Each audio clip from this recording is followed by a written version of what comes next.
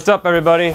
Brandon with Premier Guitar here again. Uh, today we're looking at a really cool pedal. Um, it's the Mantic Flex. This is not a new pedal. They've been making these for about five years, but this is a really cool special edition that Third Man Records is now a part of. Um, before I go any further, playing my Tele into the Mantic, and later I might throw on a delay. So this is a Canyon here from EHX. And we're going to a 64 Blackface Champ uh, mic'd up with a Sennheiser 421, going straight into the uh, camera. Uh, that's it, pretty simple. Um, so what this thing is, is uh, basically it's inspired by the old Schumann PLL, uh, which stands, the PLL stands for Phased Locked Loop. Phased Locked Loop, it's kind of hard to say. Um, a lot of synth guys are really into that stuff. There's actually more PLL clone type things coming out now. Um, Mantic was kind of early to the game on this. Um, but rather than doing a strict clone of a PLL, if you've seen a PLL, it's full of knobs, it's full of switches. It looks like incredibly difficult to use. They've minimized it into here, and they've added a lot of their own characteristics to make it stand apart from a PLL and uh, pay homage to it uh, but not exactly, uh, you know, a straight up clone. So, that being said, it's really fun, really simple to use. I don't fully understand what the money and the and switch do, but it has something to do with artifacts and the elements of the locked loop. Um, uh, but we just flip switches and it just goes crazy. So let's, let's just get into that. Um, level here is our overall volume. Uh, focus is basically the amount of time it takes for the pedal to attempt to calibrate and time itself with the incoming signal. Uh, it's really strange but fun. And then pump does the same thing as focus but in a different way. So to simplify that, I, what I've found with this thing is that when focus is all the way up, it listens to your playing a little more and doesn't start glitching out right away and the more pump is up, is up uh, it'll do longer, more dramatic. I, I like to call it uh, emergency uh, ambulance siren sounds, uh, and then when it's down, it does less of that and and a shorter time period. So that might be confusing. I'll turn some knobs and let you see what I'm talking about. Let's turn focus all the way up and pump all the way down to get the more standard fuzz tone that we might want to hear right out of the gate.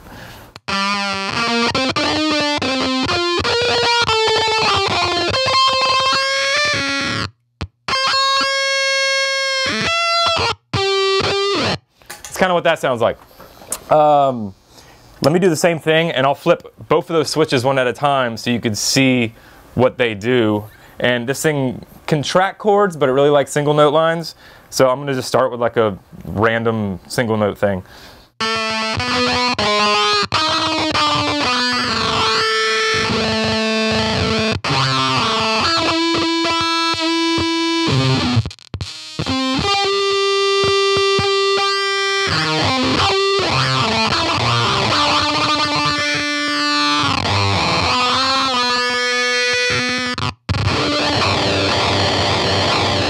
See, when I start playing chords, even with the focus all the way up, it just splatter crazy. But in a good way, you know, depending on the context. Big bar chord.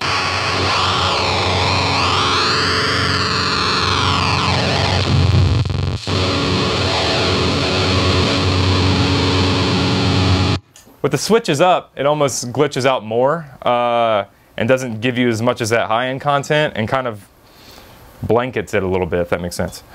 Let me turn the switches back down, see what happens. I'm gonna turn the pump up and the focus all the way down so you can hear kind of the how extreme this thing can get.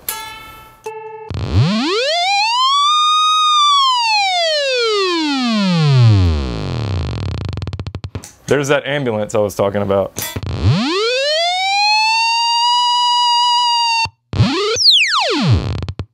Switches are up, it's gonna react a little different.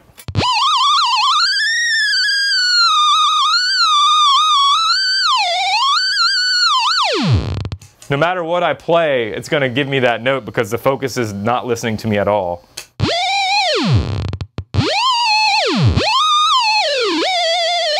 It's almost changing pitch depending on how intense I'm pressing down on the string. I'm gonna pull the, the focus, hocus pocus focus, up a little bit and leave the pump like at 75%. Put the switches down and uh, try to actually play a guitar line now.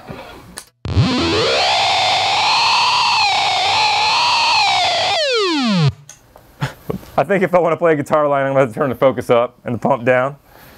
Now let's see.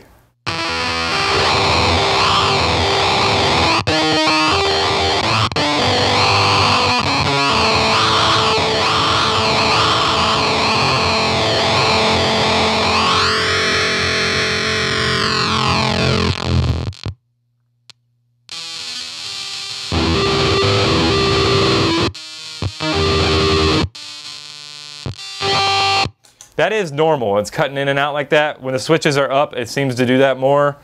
Um, there's like maybe like little micro dead spots with the knobs when those switches are up. Uh, just a strange thing you got to get around. Um, I'm going to pull the switches back down and I'm going to do something fun again with some sirens, uh, but maybe not as extreme. Uh, and I'm going to throw a delay on to show you kind of an application where you could use this in a, you know, a big washy sound in one of your songs. Clean sound.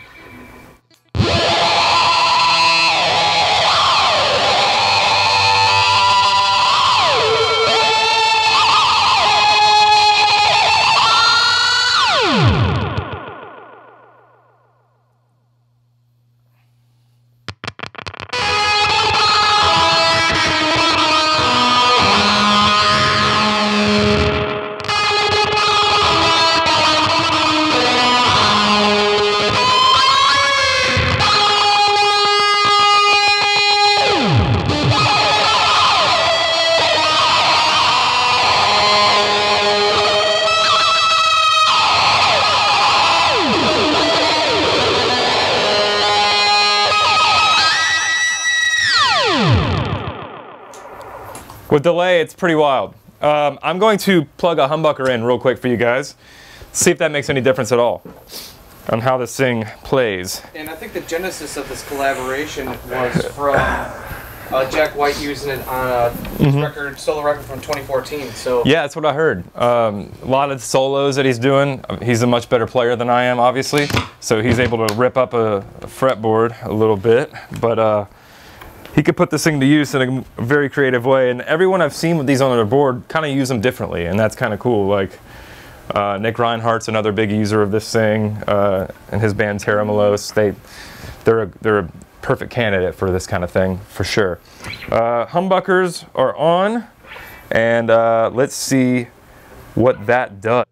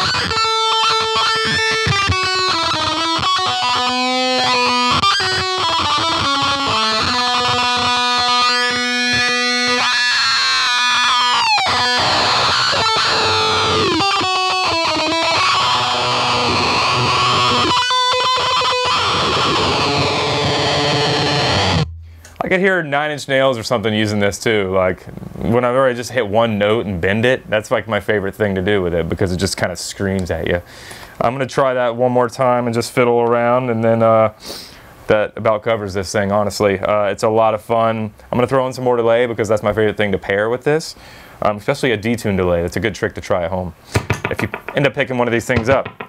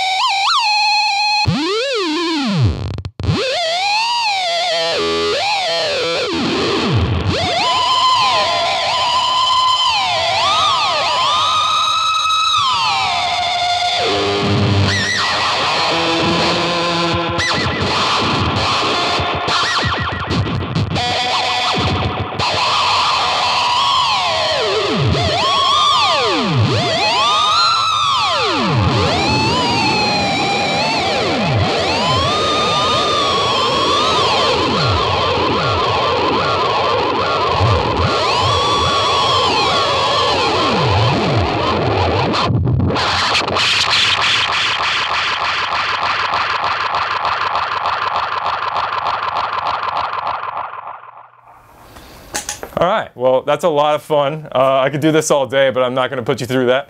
Um, thanks for tuning in, guys. This is the Mantic Flex uh, in conjunction with Third Man Records. Two awesome companies doing some cool stuff. And uh, yeah, continue to reach out to us here at PG. More videos coming your way. You know the drill. Uh, tune in next time, guys. Peace.